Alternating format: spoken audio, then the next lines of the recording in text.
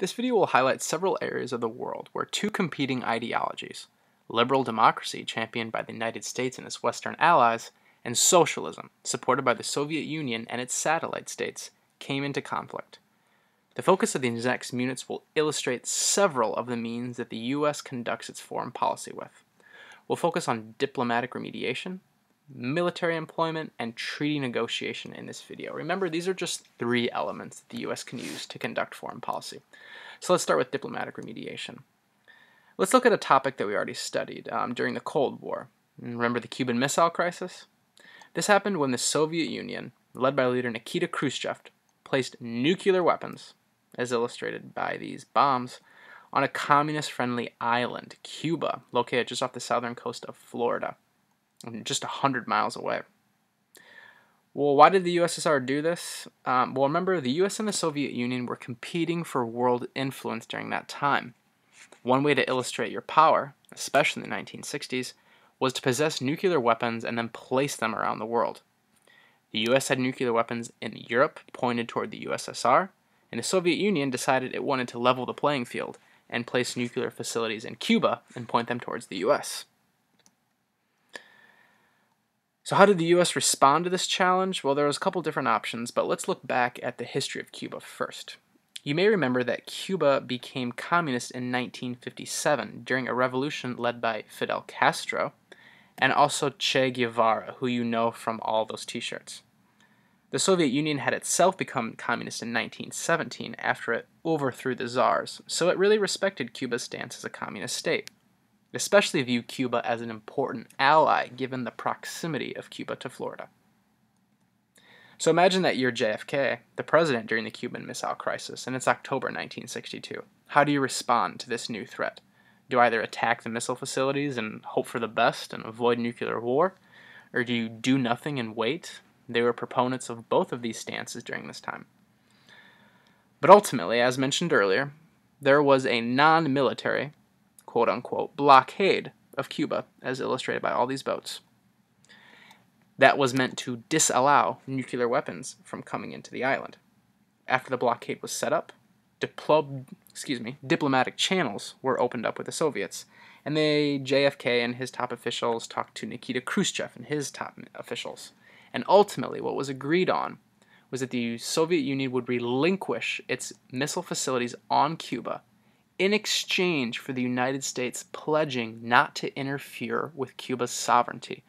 You may recall the Bay of Pigs fiasco in this instance. So that was diplomatic remediation. Let's look at military intervention now during the Vietnam War. Vietnam, as we know it, used to exist as two countries, North and South Vietnam. When the, when the French exited in 1954, um, North Vietnam and South Vietnam split. Northern Vietnam uh, started just north of Da Nang and went north into Hanoi was the socialist part of the country, and South Vietnam was the democratic part of the country. You'll notice the two flags. The top is the current flag of Vietnam today, whereas the flag on the bottom illustrated what was South Vietnam. Now, what U.S. officials feared during this stage of the Cold War was northern Vietnam um, if the whole country became communist, uh, then you know the neighbors, Laos, Cambodia, Thailand, Malaysia, Singapore, they also all might become communist at that time. This was something called the domino effect. If one country becomes communist, all the other countries become communist. So the United States did not want that to happen. So it employed military force against northern Vietnam in that time. Military escalations really started in 65 68 was the Tet Offensive that we talked about, and then in 75, effectively the war ended, as you know. Uh, over about 40,000 servicemen and women were killed from the United States. Vietnam, an estimated quarter of a million servicemen, women, and children, civilians were all killed during that conflict. And as we know, northern Vietnam was linked with southern Vietnam, and it became one Vietnam, a socialist state. So we looked at diplomatic remediation, military intervention. Now let's discuss the final element treaty negotiations.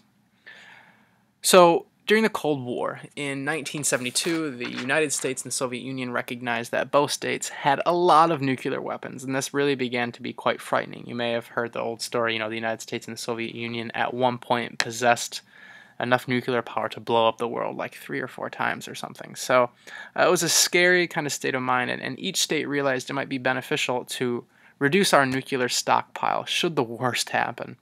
So the goal was to limit the number of nuclear weapons that each state could possess. There was a quota for the United States, and there was a quota for the Soviet Union. They met in 1972 and signed a treaty limitation that said you can only have this many nuclear warheads. SALT II was also modified, signed seven years later. It limited that number again in accordance with what had progressed during the time. So this was an example of treaty negotiation. Briefly, these are just three of the ways the United States can conduct its foreign policy drawn from our studies during the Cold War. We'll continue to look at more methods of U.S. foreign policy as we continue this unit. Good work.